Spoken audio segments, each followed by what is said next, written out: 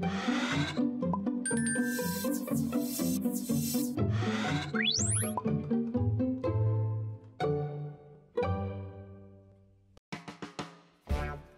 Usman, ang batang ayaw sa ulan.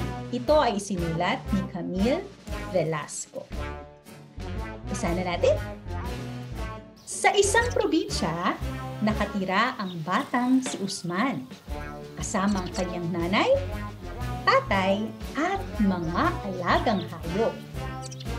Isang umaga, nagising si Usman dahil sa malakas na tunog. Rugudum!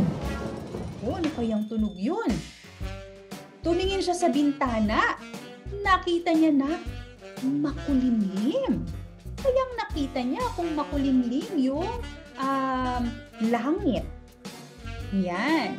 Siyempre nakita niya yung ulap na kulay itim. At naku, napakalakas na ng ulan.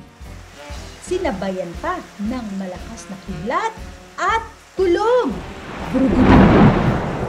Oh, natakot si Usman kaya agad siyang tumakbo papunta sa kanyang nanay na nakaupo sa mahabang bagay na gawa sa kahoy. Hmm, ano kaya ang bagay na yon? Mahabang bagay na gawa sa kahoy na pwede nating upuan. Nakaupo siya sa upuan. Di ba? Upuan din ang tawag natin doon. Nay, umuulan na naman po. Reklamo ni Usman sa nanay niya. Tag-ulan na kasi anak, ang sagot nito. Hindi na naman po ako makakapaglaro. Ayoko ng ulan. Reklamo ni Usman. Malamig at maputik pa ang paligid. Ayoko talaga sa ulan. Dagdag pa ni Usman.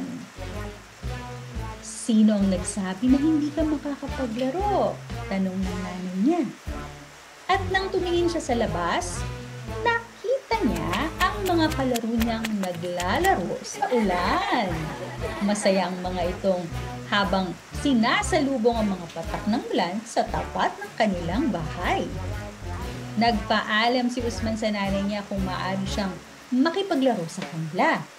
Pinayagan siya at ang sabi ay huwag magpapatabi at laging mag-iingat. Nang makauwi si Usman, naku, gutom na gutom siya at biglang nalungkot muli. Bakit na naman kaya siya nilungkot sa tingin ninyo? Tingnan natin.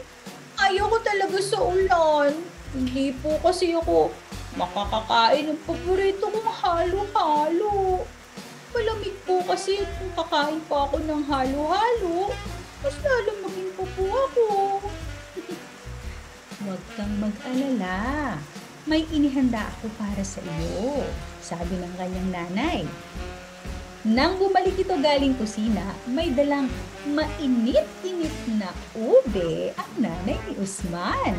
Mukha itong patatas, ngunit nang hatiin, nako, kulay lila ang loob nito. Masaya ang kumain ang mag-ina habang umuulan. Busog na busog naman si Usman at masayang masaya. Mabuti naman at masaya ka na anak. Tandaan mo, hindi natin mapipili ang panahon. Minsan maaraw, minsan maulan. Pero kahit na anong mangyari, lagi mong piliin ang pagiging masaya.